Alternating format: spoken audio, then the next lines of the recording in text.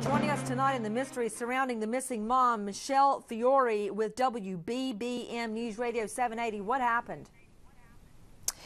Well, uh, the latest information I have for you, Nancy, is that I did speak with Plainfield Police this afternoon, and they tell me that tips are now coming into their department, and that is significant because over the weekend when I first met with the deputy police chief, he told me they had nothing at that point. They were desperate for leads, and now they are finally coming into the station. Eiding says any lead, uh, even one that may seem insignificant to people, can be just the tip that they're looking for, and that can help bring Lisa Stebic home to her family. Jane, what were the circumstances of her disappearance? Well, it was April 30th was the last time that she was seen. And she works at a school cafeteria, so she reported for work that day. They saw her. Her husband is the last one that says he saw her late in the afternoon on April 30th. He said that she normally would leave in the evening to go do exercise. She'd come back 10:30 or 11. She was never seen again. Her children, though, and there are two children, have the same story that the father has. That the last time they saw their mother was late in that afternoon.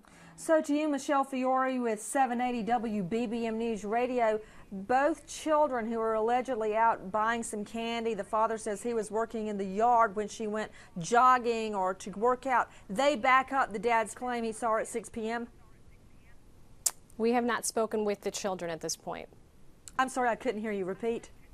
Uh, we have not spoken with the children at this point. What do uh, what can you tell me about the husband refusing a polygraph, Michelle Fiore?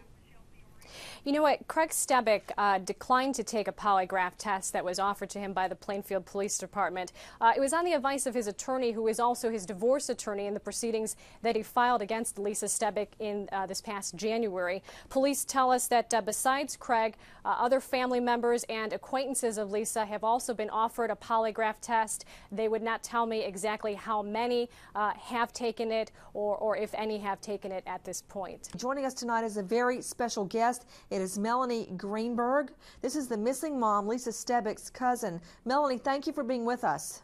Thank you, Nancy, for this opportunity to get Lisa's picture out there to a national audience.